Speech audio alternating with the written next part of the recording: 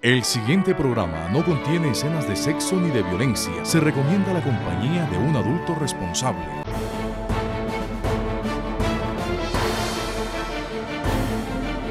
Tienen la palabra.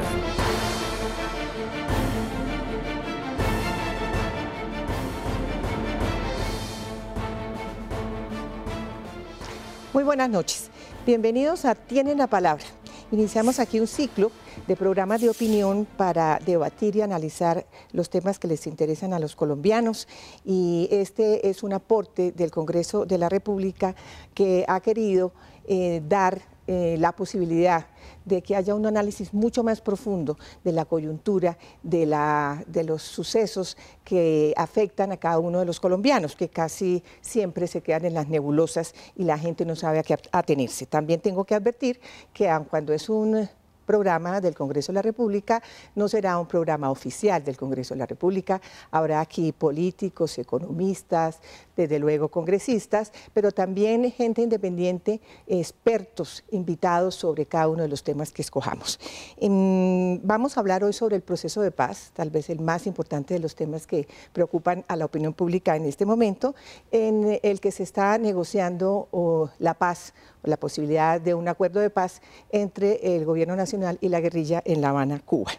Quiero presentarles a nuestros invitados de hoy para hablar sobre este tema. En primer lugar, el doctor Juan Fernando Cristo, presidente del Senado de la República, del Congreso de la República, el doctor eh, Hernán Penagos, quien es el presidente de la Cámara de Representantes, y la analista y politóloga Laura Gil.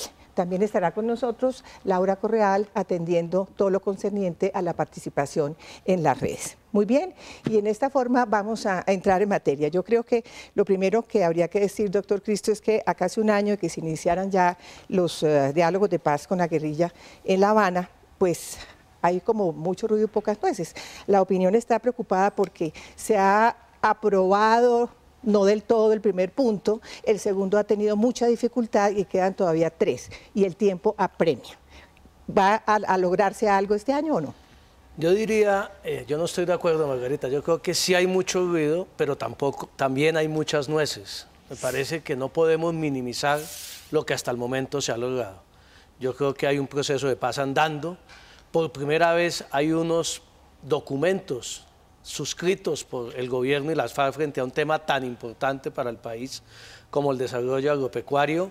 Eh, hay avances fundamentales, esperamos que este fin de semana o el otro tengamos noticias sobre el punto segundo en la agenda de participación en política y al mismo tiempo sí hay mucho ruido porque las FARC están hablando mucho, escribiendo mucho y a veces actuando poco.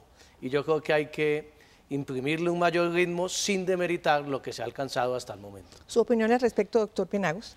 La misma pregunta. Yo en lo personal creo que el proceso no ha avanzado como todos quisiéramos. Claro que lo acompañamos, claro que lo respaldamos, pero con las actitudes de la FARC, pues obviamente lo que hacen es eh, ganar mayor desconfianza en los colombianos. Pensar que desde La Habana se quiere refundar el Estado, eh, presentar en los medios de comunicación o a través de comunicados de prensa circunstancias que ni siquiera eh, se vienen tocando en la mesa de negociación, pues desconciertan. Es, eso es innegable, por eso de alguna manera uno siente a la mayoría de los colombianos un poco pesimista frente al proceso. Claro que lo acompañamos, claro que hay que eh, trabajar hasta lo último para que esa iniciativa salga adelante, pero sí creo yo que es necesario que rápidamente hayan unas noticias mucho más contundentes, claras y precisas para que los colombianos ganen confianza en el proceso. Bueno, estas preguntas para Laura Gil. Es que eh, desde luego que la opinión se crispa cuando hay declaraciones de los guerrilleros después de cada reunión en La Habana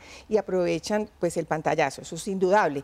Pero parece haber una doble agenda. Hay unas conversaciones en la mesa y es otra la cosa que dicen para el público, para la galería. Eso está causando, ¿no cree usted, una distorsión en la percepción sobre el proceso? No, yo creo que eso es absolutamente normal. normal. Francamente, Margarita, yo creo que decir que uno acompaña el proceso, pero le pide imposibles al proceso, no es acompañarlo. Porque lo que está sucediendo era absolutamente de esperarse. Los tiempos, las expectativas en torno a los tiempos eran absolutamente exageradas. Es evidente que una negociación en serio lleva mucho más tiempo de, la que de, la que, de lo que se había planteado aquí. Pero además tenemos que tener claridad en que lo que las FARC piden en sus comunicados son los maximalismos de la guerrilla. Cuando se llega a la mesa, el gobierno tiene muy claro cuáles son sus líneas rojas. Entonces, lo que yo diría es no, no nos dejemos meter en esa dinámica, entendamos cómo son las dinámicas de la mesa para no caer en el pesimismo.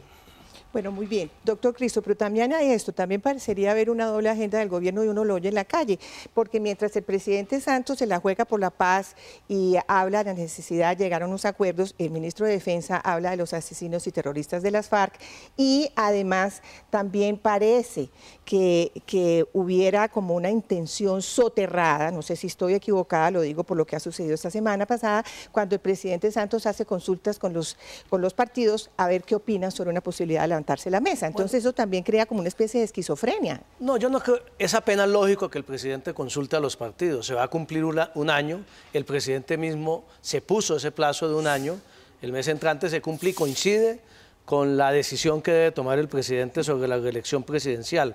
Luego me parece que nos estamos acercando al momento de las grandes definiciones del proceso. Y es lógico que para esas grandes definiciones tanto por el lado del gobierno como por el lado de las FARC, se hagan consultas y se mire cuál va a ser el futuro, porque es claro ya que dentro de un mes no vamos a tener un acuerdo final. Pero allí hay algo muy importante también, Margarita, hablando del pesimismo de los colombianos, que le escuchaba al presidente de la Cámara. Ese pesimismo yo creo que no es tanto por las declaraciones, por la actitud de las FARC eh, frente a los medios, sino por una tacañería que ha tenido las FARC, para decirlo en términos coloquiales, frente al tema de las víctimas del conflicto en Colombia.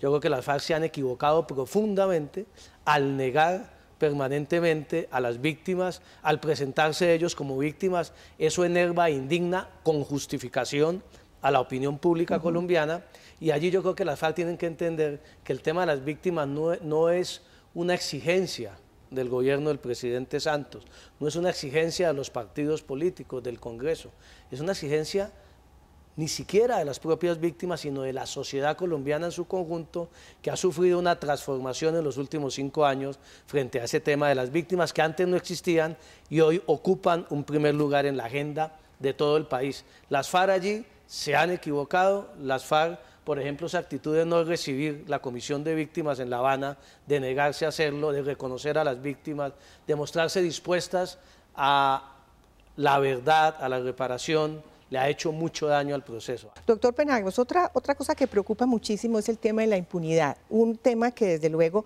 eh, es muy alentado por el Procurador General de la Nación, el doctor Ordóñez, eh, pero de todas maneras la gente dice, ¿cómo es posible que después de 50 años de violencia, de atentados, de terrorismo, etcétera, etcétera, etcétera, no vayan a pasar ni un día en la cárcel?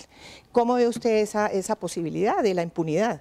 Bueno, lo, primero es que la Corte ya en la definición o en la declaratoria de exequibilidad del marco jurídico para la paz determinó unos límites y hoy lo que hay que hacer es simplemente aplicar los fundamentos que la Corte Constitucional determinó. Aquí no hay lugar a hacer apreciaciones subjetivas o hacer interpretaciones. Nada, aquí lo que hay que hacer es simplemente aprobar lo que la Corte planteó frente al tema de las sanciones, en este caso de los máximos responsables. Y uno, si está acorde con el ordenamiento jurídico, pues no tiene que hacer otra cosa que acatarlo. Pero yo quiero simplemente decir una cosa adicional.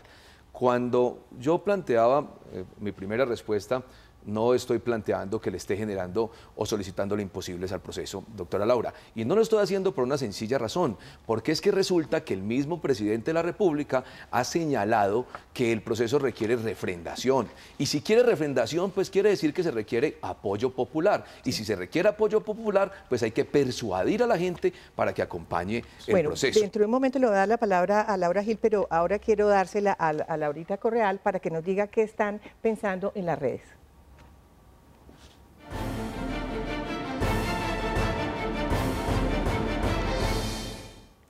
Así es, Margarita, y muchas gracias. Vamos a ver en estos momentos qué opinan las personas en las redes sociales sobre el proceso de paz.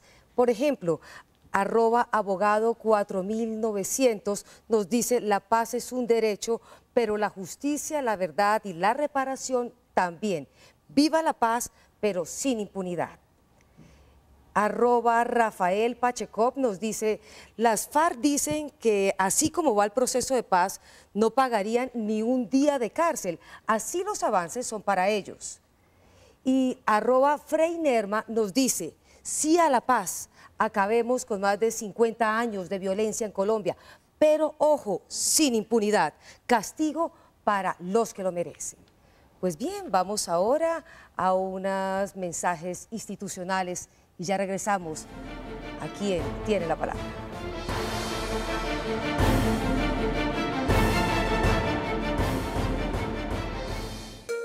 Esta Colombia, nuestra, de hoy, está llena de hechos hechos innegables y sorprendentes, hechos que nos llenan de orgullo y que hablan por sí solos. ¿Y qué dicen estos hechos? Dicen que tenemos el talento, los recursos y el empuje. Estos hechos nos dicen y le dicen al mundo que somos realidad, que somos certeza, que somos solución. En una sola frase dicen, la respuesta es Colombia.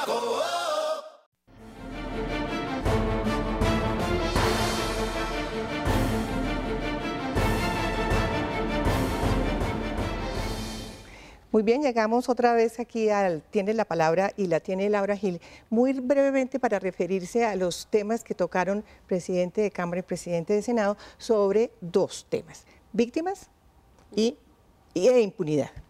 Mire, en el tema de víctimas yo creo que el senador Cristo tiene toda la razón, pero yo destacaría un leve cambio que ha venido eh, viéndose en el discurso de las FARC desde La Habana.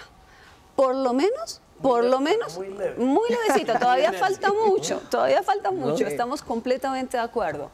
Pero yo creo que algo se está logrando y creo que en este sentido todas estas exigencias de los colombianos tienen que ser usadas en la mesa para que las FARC entiendan que el país les exige que reconozca a las víctimas y que no va a aceptar beneficios jurídicos si no reconoce a sus víctimas. Pero por otro lado, yo veo todos estos mensajes de la gente que dice, yo sí respaldo la negociación, pero sin un sin nada, nada, nada de impunidad, eso es una contradicción en los términos. Un grado de impunidad vamos a tener que aceptar y lo vamos a tener que aceptar para poder tener el beneficio de la paz. Ese va a ser el costo. Por supuesto, eso tiene que respetar unos mínimos, nacionales como internacionales, pero son unos mínimos. Y digamos la verdad.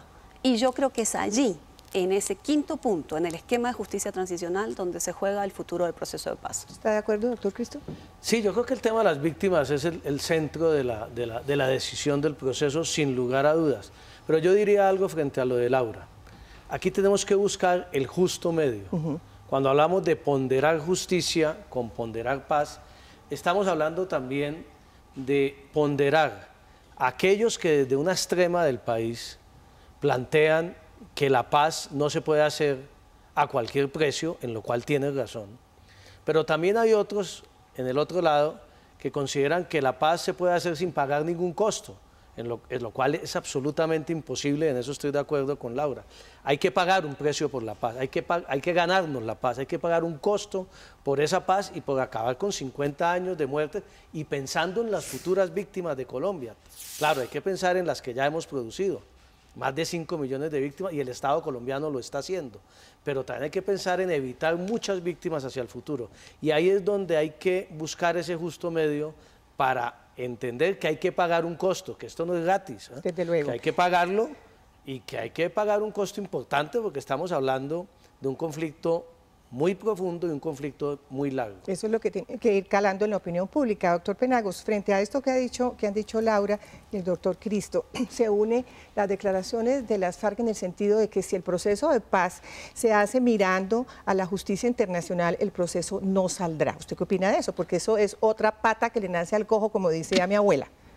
Bueno, yo, creo que eso no es tan cierto y eso no es tan cierto entre otras razones porque ahí están las herramientas de justicia transicional. Bien se decía aquí, hay que acatar el derecho interno, pero también hay que, digamos, ser consecuentes con las realidades internacionales. Y la justicia transicional o las normas de justicia transicional no son normas que nos inventamos aquí en Colombia, no son eh, estructuras normativas que hoy, digamos, son novedosas y que yo creo que ciertos, ciertos colombianos sienten que nos las estamos inventando para resolver el problema de la paz. No, son normas internacionales que tienen plenos efectos jurídicos y que tienen plena validez. Y estoy de acuerdo con lo que plantea el senador Cristo y la doctora Laura. Sin lugar a dudas, hay que renunciar de alguna manera a algo de justicia para lograr el fin, el fin supremo de la paz. Eso es apenas, es apenas natural. Lo que hay que hacer es encontrar el punto medio que permita dar tranquilidad en ambos sentidos. Pero definitivamente hay que acudir a las normas de, justicia transicional. Hoy ya las tenemos. El marco jurídico para la paz es una norma de justicia transicional y otras leyes estatutarias que tendrán que aprobarse en el futuro.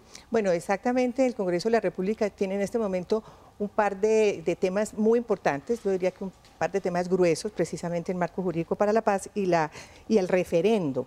Eh, temas que no le gustan a la guerrilla, ya lo han manifestado así, han dicho que no ha sido resultado de unos acuerdos entre las dos partes, que ha sido decisiones unilaterales del gobierno del presidente Santos. ¿Qué se va a hacer con eso? Allá hay que hacer una precisión, eh, Margarita. El tema de la ley del referendo, nosotros no estamos discutiendo hoy el proyecto de ley del referendo Ahí se ha generado una confusión muy grande, tanto en las FARC como en la opinión pública colombiana. Nosotros estamos discutiendo un simple proyecto de ley que permitiría eventualmente, si hay un acuerdo de paz, votar, refrendar, como lo decía el presidente de la Cámara, ese acuerdo que además, este es el primer proceso de paz en la historia de Colombia, mm. que el presidente tiene el valor y la decisión política de decir, van a votar los colombianos si están de acuerdo o no. Eso no se había hecho antes. Entonces, lo que está tramitándose hoy es simplemente la posibilidad de votar simultáneamente con una elección ordinaria si la gente está de acuerdo o no con el proceso de paz. Si ese referendo se hiciera por fuera, ahí tenemos ya algunas experiencias en el gobierno anterior de un referendo que se hizo. Si ese referendo se hiciera en un momento diferente a las elecciones ordinarias, tenga la absoluta seguridad que no participarían la mayoría de los colombianos y eso pues obviamente no generaría la legitimidad que todos queremos. Yo por el contrario siento que aquí lo que se está entregando es una herramienta adicional para la refrendación, que, que las FARC debería por el contrario aceptarla de muy buena manera en el entendido de que va a lograrse tener la opinión de la mayoría de los colombianos y por eso es que de alguna manera uno va sintiendo muchos contrasentidos que no se entienden. Laura Gil, ¿cuál es su opinión frente a este tema específico? Y, digamos, se podría ampliar un poco más de parte suya eh, todo lo que se refiere a lo que ha venido cocinándose a través de los medios que también son eh, partícipes, a veces no tan ingenuos, eh, que colaboran a crear también una confusión, porque no se analiza, no se profundiza. Yo lo que creo es que a veces los medios de comunicación no entienden que las crisis en los procesos de paz son absolutamente normales. Hay que saber medir cuando realmente la crisis eh, obliga a una de las partes a decir, bueno, listo, nos levantamos de la mesa. Pero no podemos volver esto, que los periodistas se vuelvan eh, juzgadores morales, yo sí quiero saber honestamente qué es lo que están pensando la FARC. Quisiera entrevistas sinceras a la FARC sin que hubiera un ataque, no porque no se merecen los ataques, por supuesto que son responsables de crímenes de guerra, crímenes de lesa humanidad, pero quisiera saber qué están pensando espacios donde pudiéramos saber los colombianos honestamente qué están pensando y de ahí juzgar. Yo creo que todavía falta mucho tiempo aquí para poder decir si este proceso fracasó o no. El tiempo dirá si fracasó o no, pero todavía hay mucho camino por recorrer y lo que deberíamos hacer todos es dejar que las partes lo recorrieran en La Habana sin ofuscarnos. Es verdad que se necesita consenso nacional para el referendo, obviamente, pero no sabemos todavía qué vamos a juzgar o no, qué vamos a votar o no. ¿Qué vamos a votar? un comentario a algo que Margarita preguntaba y que Hernán hacía una reflexión. Yo creo que hay que olvidarnos del coco. Aquí nos han presentado el coco de la Corte Penal Internacional y la legislación internacional. Mire, Margarita, este es el conflicto más largo en el mundo occidental.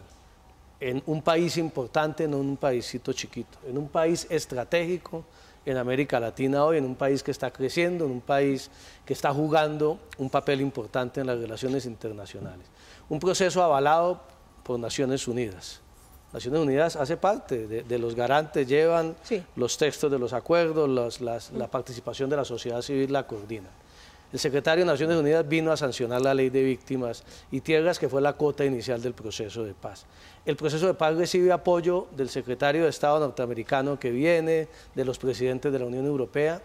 Luego, si aquí avanzamos en una fórmula colombiana, que además sea avalada por la Corte Constitucional y sea votada en un referendo, que es lo que deben entender las FARC, estoy de acuerdo con Hernán en eso, ese proceso está blindado. Hay que olvidarse del cuento de que aquí va a venir la Corte Penal a, juzgarnos a todos los que participemos en el proceso, además de las FARC. Eso no tiene ningún sentido. Laura quiere intervenir y después el doctor Penagos antes de dar la paz, para aclarar una cuestión, la Corte Penal Internacional no resolvió el tema de la atención, paz y justicia. Ese tema no está resuelto.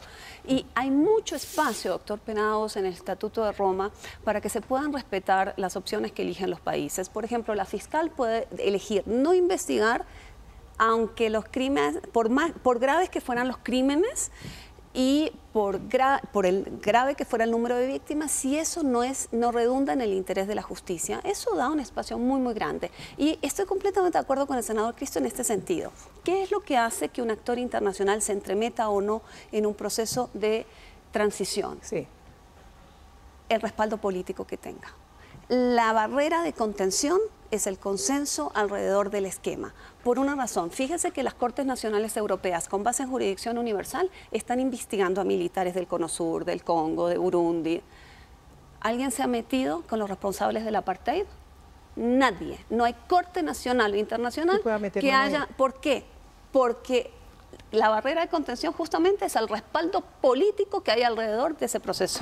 Muy bien, doctor Penal. Estamos de acuerdo eh, que el tema de la paz tiene que volverse no una política de gobierno, sino una política de Estado. Porque hoy entonces el tema del, proceso de paz lo estamos evidenciando de cara a las posibles o a las futuras elecciones para el Congreso y para la Presidencia de la República. Y ahí, ahí ya empezamos a, a enredar todo. Entonces, si esto no se vuelve política de Estado, pues entonces uno también entiende que las FARC cuando plantea que se suspendan las negociaciones, podría estar pensando en que vamos a esperar a ver quién queda de presidente, cómo queda el Congreso, para mirar a ver si aceptamos o no. Y es que esos son los mensajes que la gente lo va entendiendo como mensajes negativos. Si la paz se vuelve una política de Estado que esté, sub, que esté por encima de los gobernantes que lleguen futuros, yo creería, senador Cristo, que no tenemos dificultad. Y si el presidente Santos se reelige, sigue con ella. Y si bien otro presidente tiene que avanzar en el proceso de paz en la medida en que sientan el respaldo popular de los colombianos. Pero si esto lo supeditamos a las próximas elecciones, o si todos estamos simplemente cañando, perdónenme la palabra, dependiendo de qué pasa en las elecciones al Congreso y a la presidencia, estamos liquidados. No, un Una intervención cortica porque nos tenemos que ir a los mensajes. De pesimismo. No, un comentario muy... Sí. Yo veo que todo este clima de pesimismo que ha generado la actitud de las FARC, el día que se firme un acuerdo, ese clima de pesimismo cambia sustancialmente, porque la gente lo que tiene es una desconfianza y una incredulidad bien ganada por las FARC frente a su actitud. El día que estén dispuestos a firmar un acuerdo de paz, la gente va a estar dispuesta a perdonar mucho más que lo que está dispuesta hoy. Muy seguramente será así. Vamos ahora entonces nuevamente con Laurita Correal y sus redes.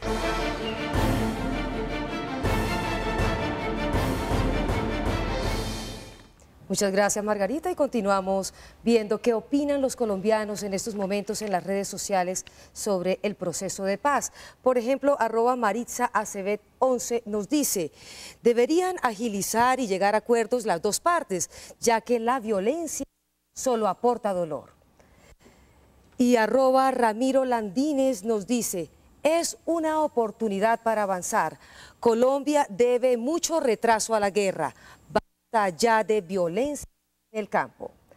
Y arroba Barbosa JG nos dice, ¿cómo confiar en un proceso con la guerrilla si a lo largo de la historia se han visto solo fracasos? Pues bien, y esto es lo que opinan en estos momentos los colombianos en las redes sociales sobre el proceso de paz. Y vamos a unos mensajes institucionales y ya regresamos a quien tiene la palabra.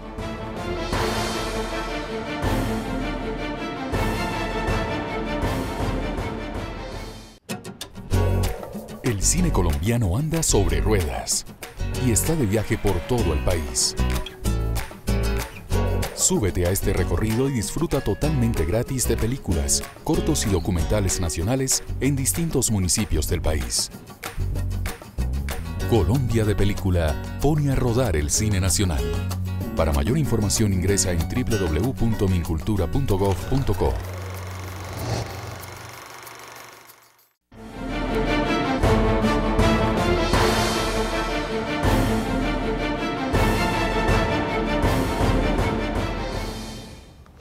Bueno, estamos nuevamente con nuestros invitados. Tienen la palabra sobre el tema del proceso de paz en La Habana. Ya nos queda solamente el tiempo eh, necesario para concluir. Entonces le doy la palabra en primer término al doctor Cristo, porque yo creo que además hay que involucrar aquí un poco la posibilidad de que se haga una pausa, como se ha planteado en esta última semana. La conclusión suya al respecto, considerando ese, otro eh, aspecto. Yo no soy amigo de las pausas, Margarita. Ya que estamos sentados, démosle hasta que hagamos el acuerdo. A mí el cuento de la interferencia de las elecciones, de que todo proceso es político. Sí. Y todos los procesos, en, en Colombia los últimos presidentes todos se han elegido por cuenta de este tema del conflicto, de la violencia, unos porque se tomaron la foto con tiro fijo, otros porque anunciaron que iban a invadir y asesinar a tiro fijo, y ninguno de los dos cumplió su propósito. Entonces, fundamentalmente, yo creo que hay que seguir adelante y hay que jugársela a fondo por la paz como lo está jugando el presidente Santos. Yo lo que sí trataría es que en la mesa de negociaciones aborden más directamente los temas. Yo creo que hay que dejarse de tanto formalismo, de que los ciclos uno o dos, que los decesos, hay que sentarse a trabajar en el tema de la paz. Y yo diría que hay tres temas fundamentales que hay que acordar de una vez y que en la mesa se deben definir. Primero, la oferta que tenga el gobierno a las FARC en materia de justicia. De una vez, ya está dado el marco jurídico, el gobierno debería definir para decirle a las FARC, bueno, estamos dispuestos a llegar hasta acá en materia de justicia, si ustedes contribuyen con la verdad, solicitan perdón, no sé cuál puede ser la oferta, ni un día de cárcel, yo no, yo, yo no, yo no descarto esa posibilidad, suspensión de las penas y con el principio de, de selectividad, en fin, o dos días o dos años de cárcel, lo que fuera una oferta. Segundo, definir también una oferta en materia de participación en política. claro. Que eso es clave, porque nadie hace un proceso de paz para irse a la casa a, leer las novelas de, de Vargas Llosa o de García Márquez, eso nadie lo hace. y tercero, porque se le acabó el Y tercero, el mecanismo de refrendación. Las FARC deben dejar de insistir tercamente. La Asamblea Nacional Constituyente hoy no es viable en el país, más allá del proceso o no.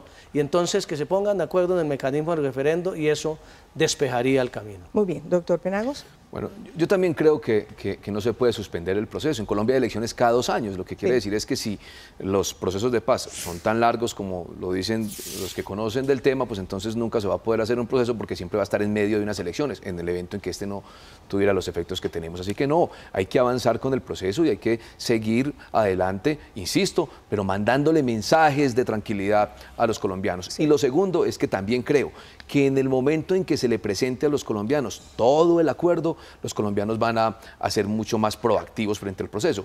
Entre otras razones, porque yo recojo un poco las palabras del presidente de la República en el sentido de que nada está acordado hasta que todo esté acordado y que va a presentar todo siempre y cuando sea un paquete completo para que los colombianos entiendan que aquí lo que se está jugando es el fin supremo de la paz. Desde luego que sí. Bueno, dejo para terminar a Laura Gil para que ella nos diga eh, desde su punto de vista muy independiente de gobierno y demás, qué es lo que cree, cuál es su conclusión frente a este tema que nos, eh, que nos agobia un poco en este momento por la falta de credibilidad que hay entre los colombianos acerca del proceso? Mira, primero que no creo que el levantamiento de la mesa sea conveniente ahora, quizás más adelante, pero levantarse de la mesa, mesa ahora desconoce que no estamos en la misma situación que el Caguán. Todavía hay mucha gente a los cuales nos tienen que convencer que no se pudo.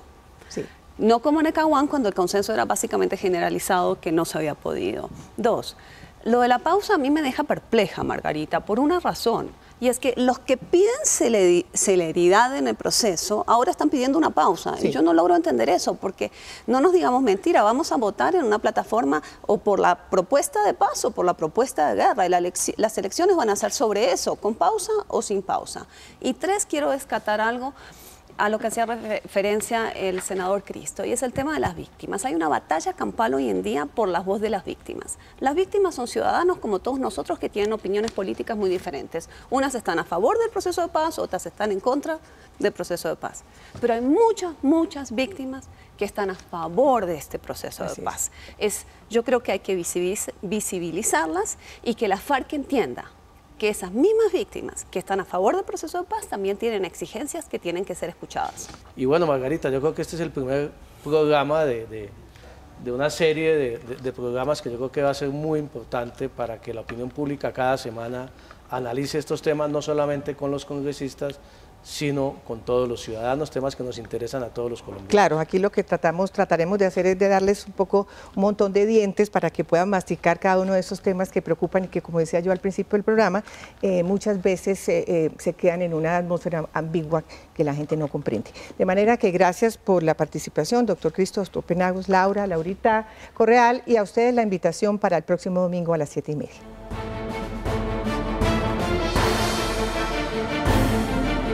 Tienen la palabra.